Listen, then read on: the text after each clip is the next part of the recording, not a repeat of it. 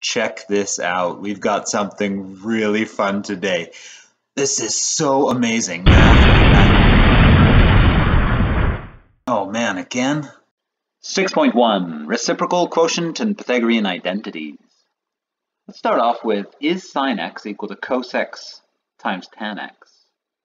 Well, sine x is pretty basic, so I'm not going to do anything with that. Same with cos x, but if you remember, tan is opposite over adjacent, or it's also sine x over cos x.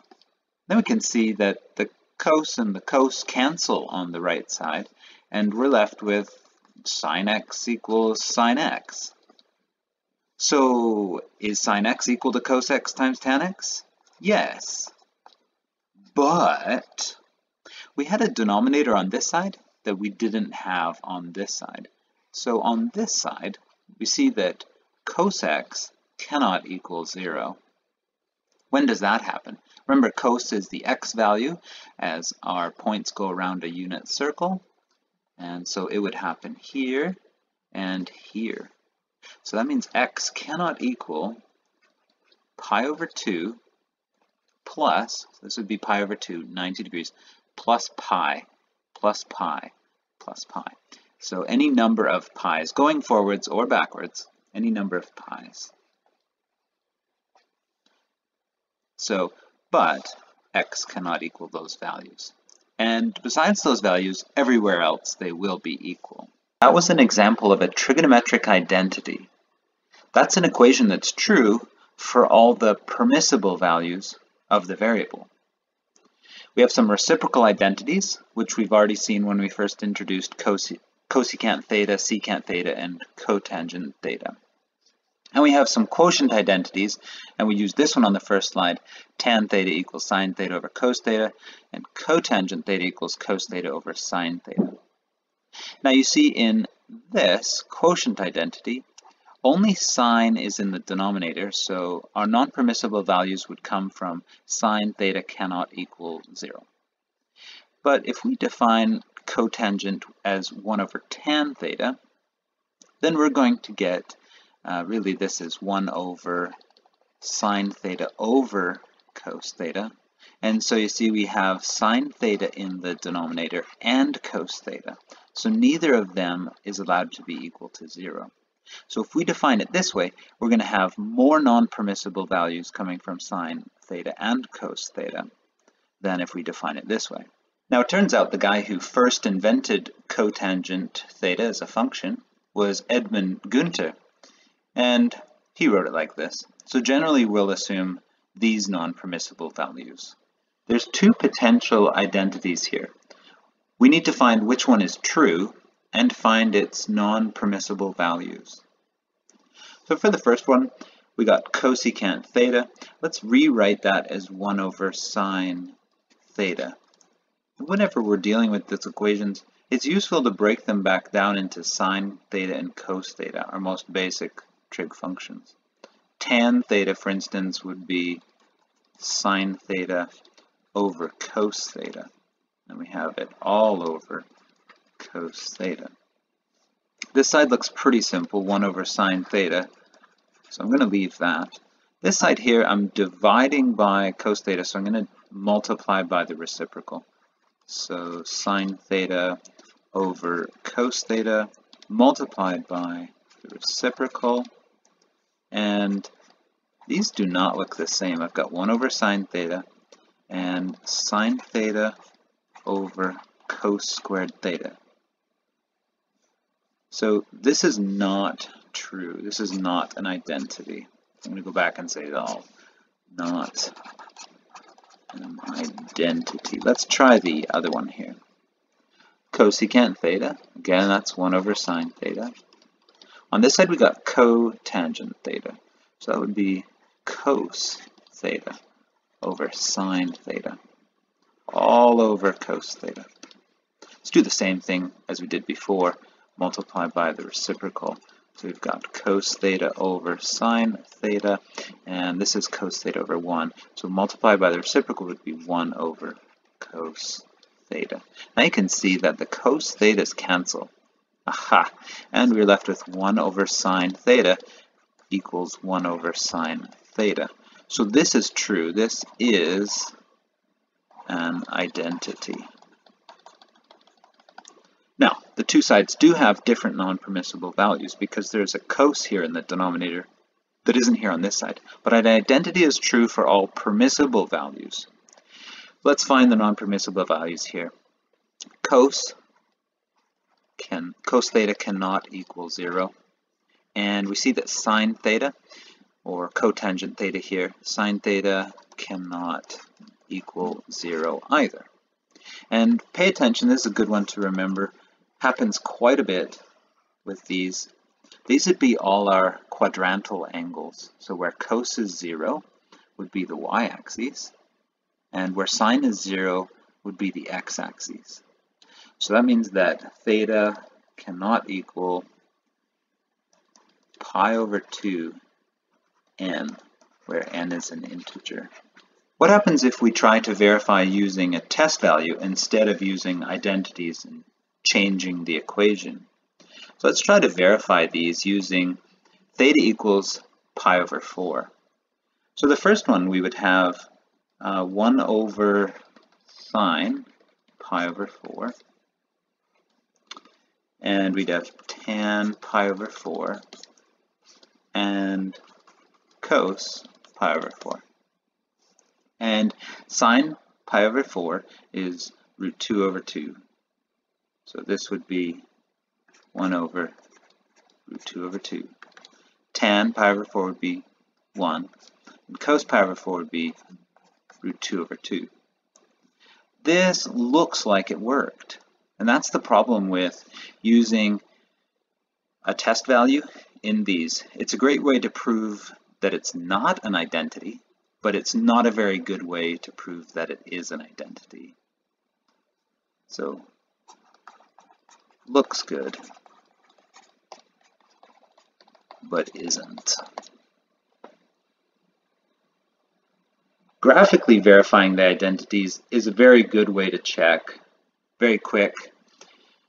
It's a great way to start off if you're told to prove an identity check it graphically to see if you should be able to prove it or not.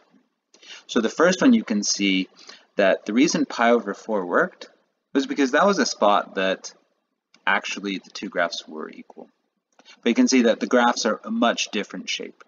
The second identity, when I graphed the two, the left side and the right side, they created something that was completely similar. In fact, the second graph completely covered the first graph, so you only see the red lines here. Because test values can deceive us and graphs may not show the whole picture, they don't count as a proof that the equation is true. We will have to do that algebraically. Pythagorean identities, we know we have a squared plus b squared equals c squared for any right triangle.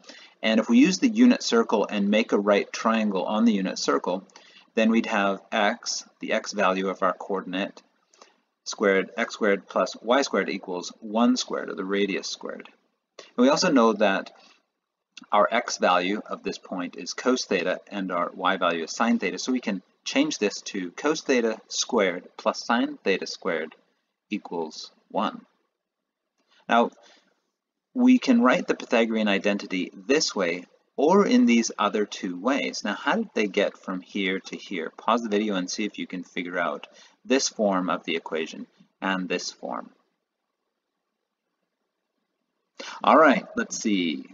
To get cotangent squared theta from cos squared theta, we just need to divide by sine squared theta. Divide every term here. So cotangent squared theta plus 1 equals cosecant squared theta because 1 divided by sine squared theta is cosecant squared theta. And this one, we just did the opposite, uh, as in divide by cos squared theta instead. So cos squared theta divided by cos squared theta gives me 1. Sine squared theta divided by cos squared theta gives me tan squared theta. And that means that 1 divided by cos squared theta is secant squared theta. So these are the three different forms of the Pythagorean identity, and you can use any of these three in the future. Let's practice simplifying trigonometric expressions. The first one here we have cotangent theta in the numerator. Let's replace that with, with cos theta over sine theta. In the denominator we have cosecant theta. We can replace that with 1 over sine theta. And cos theta is just fine. Now if you notice the numerator and the denominator are actually the same, so they both cancel out with each other, and we're left with 1. So this expression simplifies to 1. However, since we uh, got rid of all of our information here, we need to record our non-permissible values. So theta cannot equal, sine is in the denominator, as well as cos is in the denominator. So neither of them can equal 0. That means pi over 2n, where n is an integer. Next one, we've got secant theta. That could be replaced with 1 over cos theta. Now we've got tan theta, and that could be replaced with sine theta over cos theta. Now if we multiply numerator and denominator by cos theta, we can get rid of all the coses in this, and we're just left with 1 over sine theta. And it's fine to write it like that, if you prefer, though, we could write it as cosecant theta. And we have to record our non-permissible values. So theta cannot equal. We have a cos in the denominator, and we have a sine in the denominator. So it turns out to be the same as the first one here, pi over 2n, where n is an integer. We want to use the identities to simplify this expression. In the numerator, we have 1 minus secant squared x, and hopefully that looks familiar. In the last Pythagorean identity we had was 1 plus tan squared theta equals secant squared theta. So there's the 1 in the secant squared that we need here. Let's rearrange this identity. So minus secant squared theta on both sides and minus tan squared theta on both sides. Oops. And there we go. And this gives us our 1 minus secant squared theta, and it now equals negative tan squared theta. So we can use this identity to change the numerator in our expression. And it would be negative tan squared x over sine squared x. And we can change tan. We know that that is negative sine squared x over cos squared x all over sine squared x. We can see the sine squared x and the sine squared x will cancel. We're just left with negative 1 over cos squared x. And if we prefer, that's okay. We could write it though as negative secant squared x. And since we had cos in the denominator and sine in the denominator, then we're going to have x cannot equal pi over 2n, where n is an integer. Whenever we're proving trigonometric equations, we're not allowed to do our regular algebra and cross over the equal sign. So I can't uh, add 1 on both sides of this equation. So we want to prove this equation. We've got to work with the left side exclusively and then independently work with the right side and get them to a point where they are the same. Also, you probably, whenever you're asked to prove something, you probably want to graph it. Graph this side, graph this side, and see if they are equal, so you don't waste hours trying to prove something that isn't actually true. So the numerator of this looks fine, 1 over sine x, but it's the denominator that I'm going to rearrange. Cos squared x looks familiar if it's with a 1. It looks kind of like pieces to my Pythagorean identity. So I'm just going to rewrite this and put those guys together. And the minus sine x I'll just write over here. On this side, I'm going to just write this as negative 1 over sine x. That looks pretty simple, so I'm not going to do anything else to the right side. Next, this 1 minus cos squared x. Remember the first Pythagorean identity? It was cos squared x plus sine squared x equals 1. And if I just rearrange this by subtracting cos squared x on both sides, then sine squared x equals 1 minus cos squared x. That's some good news. Most likely we want to turn all of the trig functions into the same ones. So this is ideal. So we got 1 minus sine x over sine squared x. So this changes into that. And nothing happens to the right side of this equation. Now we got a common denominator here, so we can factor out the sine. So 1 minus sine x in the numerator, sine x in the denominator.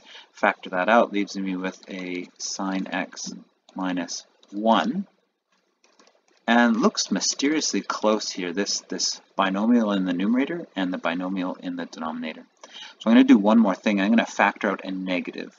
Factor out a negative from this binomial means this one turns negative, this one turns positive. And now they are the same. This binomial is the same as that binomial, and they can cancel out. And on this side, I'm left with 1 over negative sine x and on this side, I'm, I'm left with 1 over sine x. And these are now the same, and I can say the left side equals the right side. So this is a true identity. This was part of trigonometry 6, prove trigonometric identities using all of these other identities. We just did the first ones, reciprocal, quotient, and Pythagorean today. Try these questions out, see if you know what you're doing.